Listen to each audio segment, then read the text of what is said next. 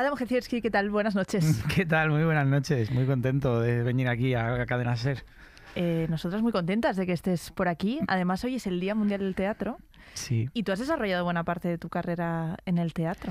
Bueno, sí, no, no tanto como me gustaría, pero sí, sí. Eh, eh, bueno, hice como 200 o 300 funciones de Billy Elliot, que oye, no está mal, entre otras cosas, pero sí, además ya tengo muchas ganas de volver a hacer teatro. Bueno, es que mm, el teatro musical a mí me parece de lo más difícil que hay dentro de, todo el mundo de la interpretación. Me parece mucho más complicado que el cine, que, que, la televisión. Bueno, yo creo que todo tiene complicación, pero, pero el teatro musical... Bueno, Billy Elliot yo creo que dentro de los musicales es una de las obras con mayor carga dramática y además, bueno, yo cantaba un poquito, bailaba un poquito y sobre todo actuaba. Eh, pero es, yo qué sé, es muy gratificante. Era una obra muy intensa, muy... Eh, no sé, muy emocionante de hacer. Eh, y al final, bueno, también, yo qué sé, los musicales son caros. Y yo siempre tenía en la, en la, cabeza, digo, esta gente se ha dejado 75 euros por entrada, se ha dejado... Así que yo que sé, me motivaba para dejarme la piel en el escenario y, y, bueno, el propio texto invitaba a ello y es muy guay cuando acaba ese feedback casi instantáneo de ver a la gente feliz por lo que acaba de ver. Eso es muy bonito. Bueno, dices que es caro, pero es que yo cada vez que he ido a uno pienso, los sueldos de toda esta gente. Por supuesto. Los que están en el escenario, toda la banda, que suele ser enorme. Sin duda alguna, si lo digo por una cuestión, ya supongo que al final la gente, eh, yo que sé, no le cuesta dejarse 200 euros en ver un partido de fútbol, pero, pero creo que hay algo como más de reticencia en dejarse 80 euros en, ¿no? en, una entrada. Eh, pero bueno, que también al final, bueno, seamos realistas eh, con los sueldos que, que, se maneja y tal, hombre, 80 euros, pues eso es, es un dinero. Lo que pasa que evidentemente hay que mantener toda esa compañía, claro. Has dicho que hiciste unas 200, 300 funciones. Yo siempre me, Igual exagero, pero recuerdo algo así. Yo diría que son más, ¿eh? Creo que son más. Eh, ¿Ah, había leído que habías hecho unas 400. No sé si esas no, no, no, no, porque no, la obra la, estrenó Adrián Lastra. Eh, eh, luego creo que hubo otro compañero más que estuvo muy poquito tiempo y luego entré yo. O sea que me hice como la mitad de Billy Elliot de Madrid, más o menos. Aún así, me sorprende ¿Cómo es todos los días interpretar el mismo papel, eh, hacer las mismas frases, el mismo personaje? es un público diferente, pero tu trabajo todos los días es el mismo. Bueno, yo creo que cuando intentas hacer las cosas de verdad y sentirlas todos los días es diferente. Todos los días tu compañero te mirará diferente. Es más, cuando las cosas se repiten, cuando notas que lo que estás haciendo ya lo has vivido, eso es que algo está pasando mal, algo, algo está yendo mal. Eh, lo que mola es cuando tienes esa sensación después de 200 funciones de que estás, eh, estás haciendo algo nuevo. Y sobre todo, bueno, el gran respeto que por lo menos yo siento por el público de decir pues eso, que cada día hay un público nuevo y hay que volver a conquistarles y volver a hacerles felices. Eh, porque bueno, de eso va esta profesión, de hacerle sentir cosas a la gente, que es, y es lo que más me gusta a mí, lo que más me, lo que más gratificante me resulta. Hace unos cuantos años confesaste que estabas escribiendo una obra junto a tu compañero Gonzalo Ramos. ¿En qué quedó aquello? Bueno, la escribimos, la escribimos y la movimos, estuvimos a punto de sacarla adelante. Eh, bueno, en la vida hay que saber tocar puertas y hay que saber ser eh, persistente y tal, cosa que, bueno, pues supongo que nosotros eh, de momento no hemos desarrollado. ¿Pero sigues escribiendo? Sí, es algo que me gusta mucho. Lo que pasa que levantar un proyecto es muy difícil. Eso, hay que, hay que saber tocar puertas, hay que saber mover moverse. Y es algo que me cuesta, porque yo soy una persona pudorosa, no me gusta como molestar y, bueno, pues es algo en lo que todavía tengo que trabajar, porque al primer no es como, ah, bueno, vale, ok. ¿En el futuro te ves siendo director o siendo guionista? Eh, no lo sé, me gusta mucho, me gusta mucho el mundo del guion, me gusta mucho la dramaturgia en general, me gusta mucho contar historias, eh, me interesa la dirección, no lo sé, también me, me encanta actuar, o sea que no lo sé, veremos a ver. En realidad tus inicios profesionales no están en el teatro, sino directamente en el cine, en un corto Sueños de Daniel Guzmán, y fue además un estreno por todo lo alto. Y el premio es para... ¡Ostras!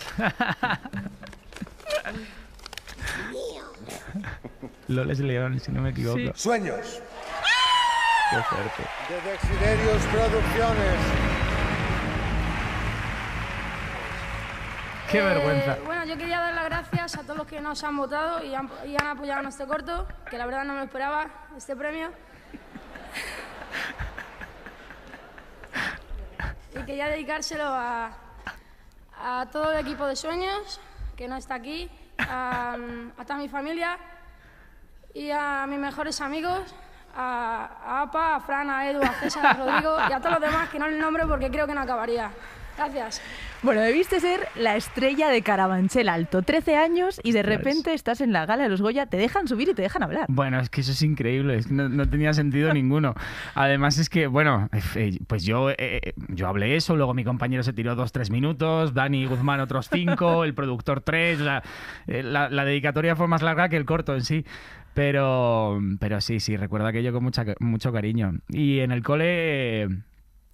Pues guay, lo- mira, siempre digo que tenía desde pequeño una toma de tierra muy guay, que era mi madre, que nunca se hizo partícipe, nunca se subió al carro y siempre me, me bajaba los pies y, ok, muy bien, muy bien el hobby, pero a estudiar, niño. Y, mm, y luego que tampoco mi transición, yo no era, nunca he sido un niño tímido, nunca he sido mm, introvertido, siempre, bueno, me desenvolvía bien, entonces tampoco fue un salto como de, de niño transparente a niño popular, fue una cosa un poco más natural. Pero lo que, lo que más agradezco en la vida es que luego todo se acabara eh, y vivir eso muy pronto, a los 14, 15 años, porque siempre digo que me, me pegué la primera leche, leche de mi vida muy rápido y me vino bien para tranquilizarme, para ubicarme. Luego me he llevado alguna más en la vida y yo creo que a base de, de ese, de ese tipo de experiencias se aprende y se crece como persona. Y Claro, es que tiene que ser difícil de gestionar que el primer proyecto en el que trabajes se lleve un Goya. Sí, bueno, hombre, yo que- más difícil lo tuvieron, no sé, Víctor Elías, Ricardo Gómez. Al final lo mío era una cosa a nivel local, lo sabían los que me conocían. La gente no se acuerda de, quién gana un Goya, pero al mejor cortometraje. Pero, pero sí, bueno, eh, ya te digo, lo viví con naturalidad y creo que estuve bien rodeado, bien acompañado y creo que las cosas eh, fueron despacio y y fueron como tenían que ser. Eh, tuve la oportunidad de probar la experiencia de niño, pero hasta que no me hice más o menos adulto, no se convirtió en un trabajo como tal. En realidad he dicho que tus inicios profesionales fueron estos, pero tus primeros pinitos en la interpretación fueron en el cole, creo, haciendo una obra de Antonio Machado. Sí, porque me, sí, me, me paró la profesora de teatro por los pasillos y era una obra como, bueno, era un poco rara. Era Antonio Machado en una mesa hablando y, y como ocho o nueve personas alrededor eh, haciendo como, como coros de poemas suyos en diferentes idiomas. Y me dijo, niño, ¿tú sabes hablar polaco? Sí. Eh, ¿Te aprenderías un verso y lo recitarías? ¿Me salto clase? Sí, pues vamos allá. y, y así empezó todo un poco, sí. Y mm, viniendo de una familia eh, normal, que no tiene Sí, vínculos con sí. la interpretación de un barrio humilde, Sí. ¿cómo llega Daniel Guzmán hasta ti? Joder, pues no tengo ni idea por qué Dani. Bueno, a ver, eh, yo por lo que tengo entendido, la verdad es que nunca se lo he preguntado, eh, pero creo que lo que recuerdo es que él no quería como niños actores, eh, creo que quería como gente, bueno, nueva y tal, porque, bueno, por aquello de. Ya, no, no quería manejarse como con pequeños ya artistas, ¿no? Eh, y no sé cómo, pues acabó en, eh, mi instituto viendo al grupo de teatro, donde, bueno, yo ya estaba más o menos integrado porque ya había hecho varias cosas y, bueno, y le caí en gracia. Bueno, le caí en gracia, me hice como 5, 6, 7 pruebas, no sé.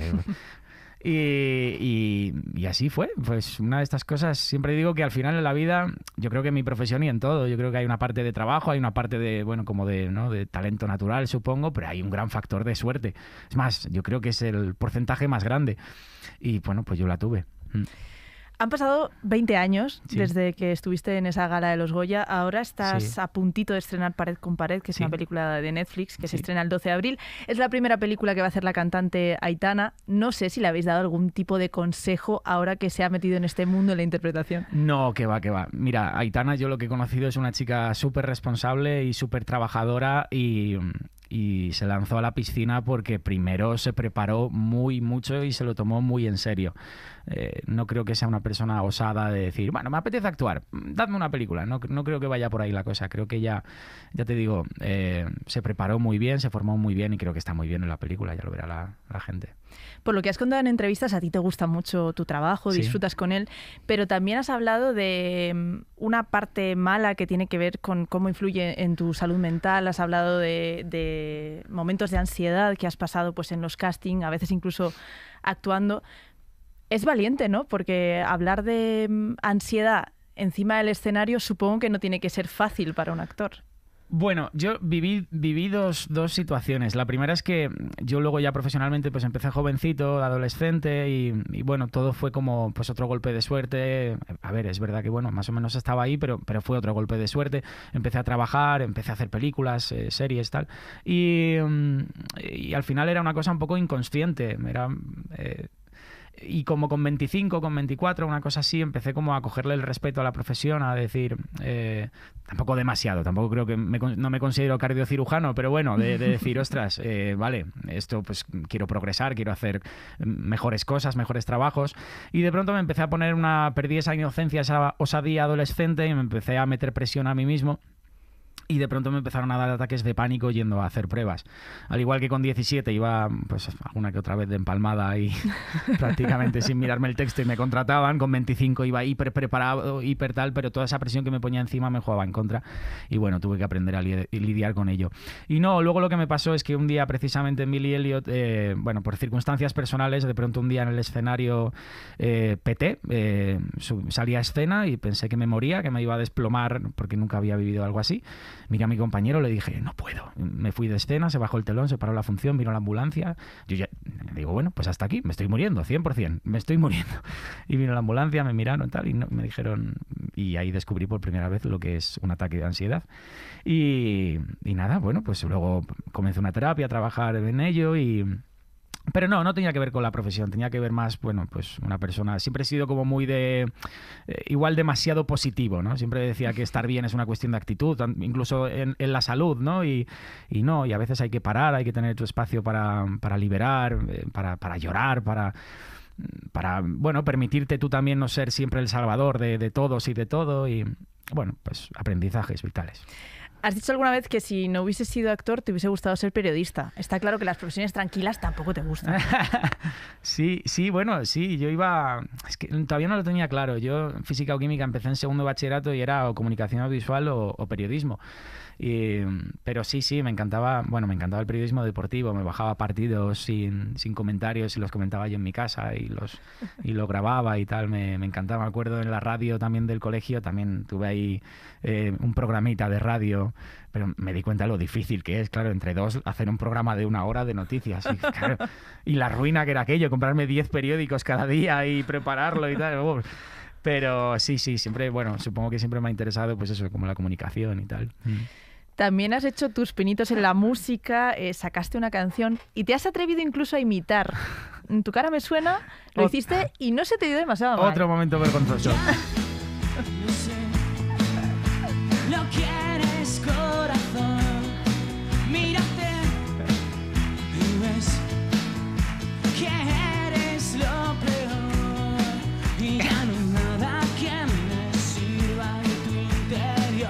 es que imitar a Dani Martín no es nada fácil. Está bastante conseguido. Eh, pues, joder, mira, aquello.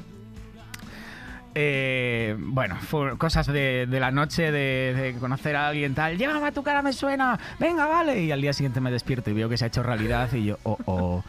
Eh, porque, claro, yo canto en la ducha y aquel plató impone muchísimo, eh, mucho público, además tú vas de invitado, eh, pues ahí los concursantes eh, pues no se tiran, no se llevaban dos, tres meses haciendo actuaciones, tú vas ahí un día y eh, se me cerró, se me cerraron las cuerdas vocales, lo pasé muy, muy mal, muy mal. En casa lo hago mucho mejor, pero. Entonces el sueño de convertirte en un bisbal no está por ahora encima de la mesa, ¿no? No, no. Otro sueño que tenía, bueno, sueño. Eh, siempre decía que creo que fue la, no me acuerdo con qué edición de Operación Triunfo en Telecinco me pilló con 16 años, pero me acuerdo que me la tragué de piapa y dije al año siguiente me presento y al año siguiente empecé a trabajar en física o química. Pero sí, sí, eso también lo tenía en, en la mente.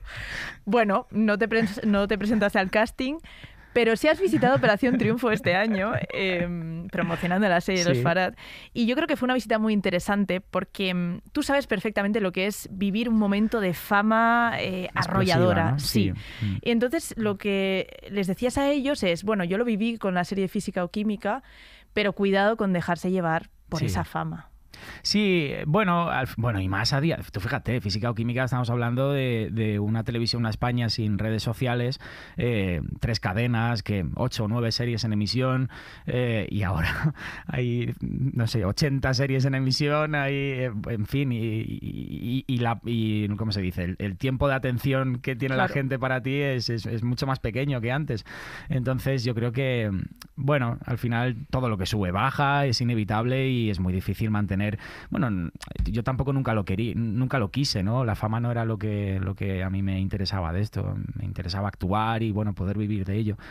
Entonces, eh, pero sí, bueno, estos fenómenos al final en algún momento acaban y y además, es, insisto que yo creo que tanto yo como mis compañeros eh, tuvimos la suerte de eso, de no tener redes sociales y, pues bueno, pues vivir ese fenómeno cuando, no sé, cuando veníamos a la Gran Vía, cuando venías, cuando salías de casa, ¿no? De alguna manera, pero yo cuando volví a Carabanchel era el mismo niño de siempre y cuando abría el móvil era una persona normal porque no tenía una aplicación que me decía que me seguían dos millones de personas y, no, me, no, me, sentía endiosado constantemente, ¿no? Durante muchos años te han seguido llamando Gorka, que era el personaje de física o química. Eh, creo que al principio igual no lo llevabas muy bien, pero te has reconciliado ahora después de tanto tiempo. Sí, sí, completamente. Bueno, es eso, al final lo que digo, la osadía adolescente, ¿no? De decir, no, yo soy un artista completo, sé hacer muchas cosas. Eh, ya había hecho ya más cosas, ¿no? Aparte de Gorka, y quieres enseguida que te, que te reconozcan y te reivindiquen por, por otros trabajos y tal. Y, y al final, eh, bueno, al principio huyes de eso, ¿no? Eh, pero llega un momento en el que te reconcilias y te das cuenta de, de lo afortunado que has sido por, bueno, por haber participado participado en algo tan icónico y algo que, jolín, que es que le ha marcado la vida a mucha gente, que es muy bonito escuchar a día de hoy cuando se me acercan personas y me dicen, tío, eres mi infancia, que me parece súper bonito. Entonces, eh, bueno, es aprender a enfocar las cosas de otra manera. Bueno, hablas de osadía, pero yo no creo que sea una osadía. Eh, os ha pasado a muchos que habéis tenido un gran personaje. Antes has mencionado, por ejemplo, a Ricardo Gómez, Carlitos en Cuéntame, que también ha tenido que, pasar por esa fase e intentar desligarse del personaje por mucho cariño que le tenga la gente. Le pasó a Daniel Radcliffe, eh, Harry Potter.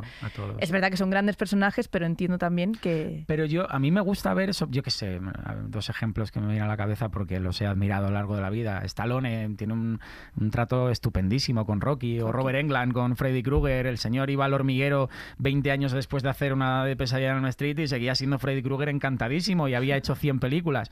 Eh, pues yo qué sé, yo creo que hay que reconciliarse con la vida y al final es que es algo que solo me aportó cosas positivas y además siempre digo que igual si mi carrera hubiera terminado al terminar física o química, pues igual no lo gestionaría tan bien, pero tengo la suerte de haber, haber trabajado mucho y haberme seguido dedicando a esto que tanto me apasiona, así que, joder, me parecería muy, muy tonto el, estar peleado con ello tanto tiempo.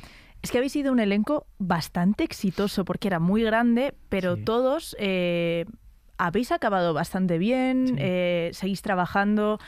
Eh, están los casos de Úrsula Corberó, que ha dado el salto internacional, mm. está Javi Calvo, mm. que está en la dirección, está Angie, que la hemos visto hace muy poquito en el Benidorm Fest. No sé, todo eso os ha ido bastante bien. Sí, yo es que creo que eh, de verdad que en esa serie había mucho talento y mucha, mucha gana de, trabajar y de hacer las cosas bien. Era veraz eso y se transmitía a la pantalla. Y luego había también eh, había una energía. Yo creo que también esa serie, yo no soy muy eh, místico, no creo en, cosas, en demasiadas cosas que no veo, pero es verdad que en ese plato había una energía como de comerse el mundo, de, de, que era imposible que aquello no saliera bien y que la vida no nos sonriera. Y, bueno, pues, pues mira, pues es verdad que que la gran mayoría de, de mis compañeros pues, eh, pues están teniendo carreras muy interesantes. Me parece muy curioso que cuando estabas en la cresta de la ola dijiste, lo dejo, me voy, dejo mi personaje. ¿Qué te dijo tu familia? No sé, ¿qué te dijo tu madre? Eh, ya te digo, es que mi madre nunca ha sido partícipe, nunca, nunca, nunca. Y es algo que le agradezco muchísimo porque, porque en casa es que eh, era el mismo Adam de siempre, nunca, nunca cambió la situación, nunca ya te digo, nunca, nunca se subió a la cresta de la ola conmigo, ¿no? Y, yo es que lo tenía muy claro, vuelvo a, bueno, a, ese, a esos pensamientos adolescentes de querer comerte el mundo y reivindicarte, y yo tenía claro que, que no iba a hacer muchas temporadas porque no quería ser Gorka para el resto de mi vida, y fíjate. Pero, pero yo creo que, bueno, yo me fui en la cuarta y en la quinta prácticamente casi todo el elenco principal inicial ya también se estaba yendo, así que, bueno, creo que fue una cosa natural. Bueno, creo que tienes también ahora mismo otro proyecto entre manos que se va a estrenar este año. Yo no soy esa. ¿Qué nos puedes contar de, esta peli? Pues eh, Yo no soy esa cuenta la historia de una chiquilla de, de, 20 años que un día se da un golpe en la cabeza y se tira 20 años en coma y se despierta y se despierta pues una niña de 20 en un cuerpo de 40 y tiene, bueno, en, un mundo que, que, claro, imagínate en 20 años lo que ha cambiado, lo que ha cambiado el mundo.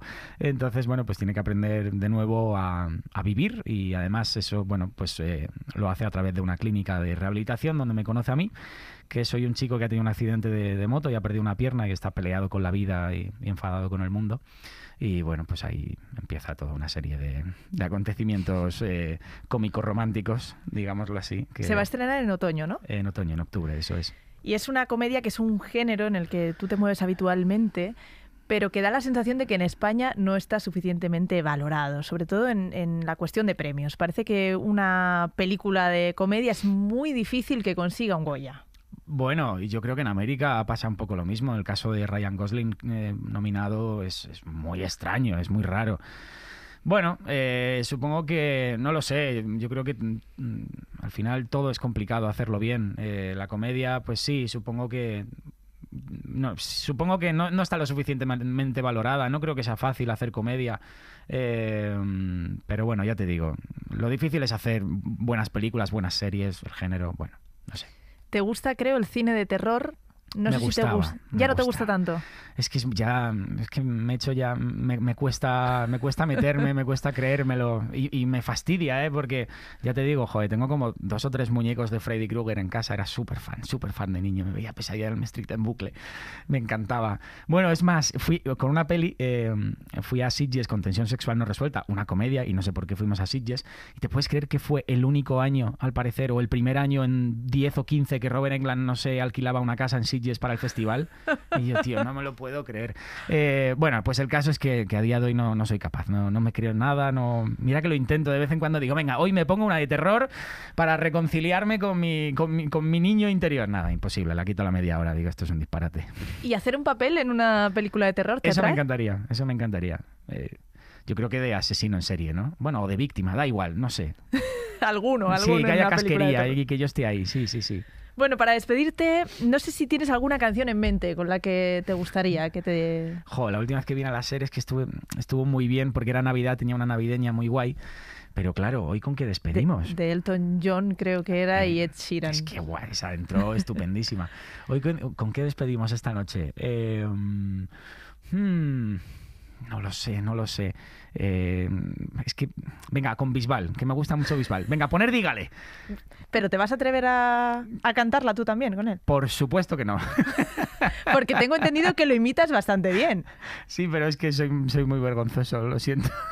Bueno, mira, te la vamos a poner, te dejamos el micro abierto y tú tienes libertad para, para terminar esta entrevista como quieras, en silencio o cantando con Bisbal. ¡Dale! Este final no te lo esperabas, ¿eh?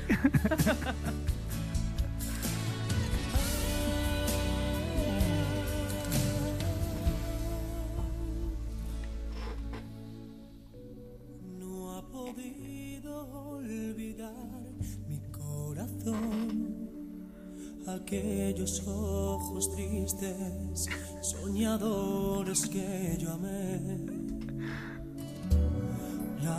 ¿No te vas a animar? No. Ada, muchísimas gracias por haber estado esta noche en el paro. Muchísimas gracias a vosotros. Hasta pronto. Y ahora sé que es ella